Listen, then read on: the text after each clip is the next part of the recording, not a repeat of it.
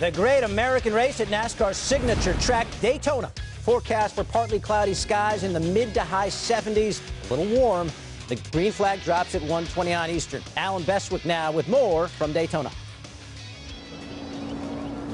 David, thank you. Our ESPN pit studio right alongside Victory Lane at Daytona, where somebody's going to collect the Harley Earl Trophy in just a short while. Inside the studio, Rusty Wallace, Ricky Craven, and Dale Jarrett to keep us posted throughout the day. We'll hear from them in a second. First, off to the Sprint Cup garage to hear from Mike Massaro and Marty Smith on the latest goings on there. Mike, you're first. Allen, with his thrilling nationwide victory yesterday afternoon, Tony Stewart picked up a 16th Daytona win. That moves him into a tie for second place with Bobby Allison on the Daytona win list. He's now second only behind the great Dale Earnhardt. Now, he qualified, or he finished 12th, I should say, in his qualifying race on Thursday, but I spoke with his crew chief, Darian Grubb, this morning, and he said, don't be fooled by that. We're very confident. We've got a great race car. In that race, we felt like if we couldn't win, we were going to be conservative.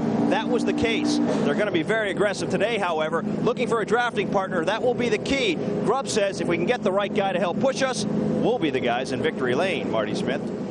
Thanks, Mike. When it comes to respect among racers, no one's held in higher regard than Mark Martin. Martin's tried 26 times to win this Daytona 500 and failed. I spoke to his crew chief, Lance McGrew, this morning, and he told me that is in every single crew member's mind as they prepare the car this morning. That respect that Mark Martin has among his peers is what is in their heads. They want to make sure that they are the group that sends Mark Martin to Daytona 500 victory lane today. Allen? All right, gentlemen, thanks. Five and a half hours from the green flag. The place is already teeming with people as drivers on the morning of your biggest race. What was your favorite thing? What was your least favorite thing? Uh, my favorite thing that I was in the Daytona 500. That really had me pumped up, guys. I mean, to get down to Daytona and be able to compete down here with the best of, man, just had me going big time. But my least favorite thing was the nerves, worrying about whether my car was going to run, whether it was going to handle. And probably the number one thing that drove me completely crazy was all the pre-race activities, man. I just wanted to get in the car and go run because I was ready at that point. I wasn't ready for distractions. Yeah, I lived for race day morning, and the pros- you wake up with a prospect of being winner at the end of the day.